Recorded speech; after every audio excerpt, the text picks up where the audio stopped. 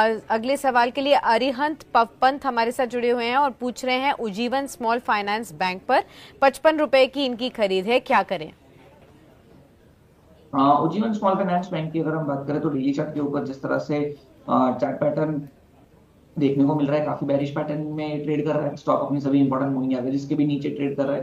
Previously मार्च महीने में हमने देखा था कि Ujjivan small finance bank forty forty two rupees से घुमा था। तो वही सपोर्ट को अगर हम ध्यान में रखें तो स्टॉक अभी फोर्टी फोर रुपीज़ के आसपास चल रहा है। रुपीज़ टर्म में छोटा स्टॉप लॉस है लेकिन परसेंटेज में काफ़ी बड़ा स्टॉप लॉस है। फोर्टी रुपीज़ मतलब टेन परसेंट का स्टॉप लॉस हुआ यहाँ से। तो as of now forty rupees के स्टॉप लॉस के साथ इनको होल्ड रखना चाहिए। अगर फोर्टी ब्रेक करे तो फिर एक बार के लिए एग्जिट कर दे। बताइए। मैडम मेरे पास उद्योग स्मॉल फाइनेंस बैंक का तेरह सौ अठारह शेयर है। Okay. Fifty fifty four rupees thirty पैसा में। फिफ्टी फोर थर्टी पे। ओके। हाँ हाँ।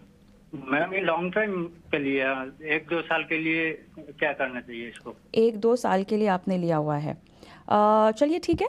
सौरभ, आपके पास आऊँगी, नज़रिया थोड़ा सा इनका लंबा है। फिफ्टी फोर थर्टी इनकी बाइंग प्राइस है। मेरे ख्याल से कुछ यहाँ पे डिविडेंड का भी ऐलान होने की खबर सामने आती हुई दिखाई दे रही है, लेकिन उसके अलावा इतना लंबा रुकना क्या सही होगा या कहीं और मूव हो जाएँगे? बैंक क्षेत्र हमें वैसे काफ़ी अच्छा लगता है। मैं समझता हूँ दो तीन साल में अच्छा पैसा बढ़ सकता है। लेकिन उत्तर स्मॉल फाइनेंस बैंक की बैलेंस शीट उतनी अच्छी नहीं है ग्रोथ उतना अच्छा नहीं आ रहा है रेशियोज उतनी अच्छी नहीं है। तो सलाह ये रहेगी कि इनके रेट के आसपास ही है तो खास नुकसान नहीं हो रहा है।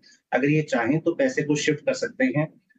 जैसे कि आप यूनियन बैंक में या इंडियन बैंक में, वो दोनों काफ़ी अच्छे बैंक रह सकते हैं, अगले एक दो साल के।